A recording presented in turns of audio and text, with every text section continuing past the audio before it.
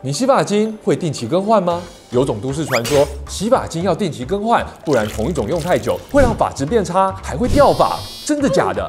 实际上除非是含药品成分的洗发精会需要担心太常用让药物产生抗药性之外不然一般洗发精的成分不会伤害毛囊也不会造成秃头就算每天洗都不会。当然一天洗一次就好。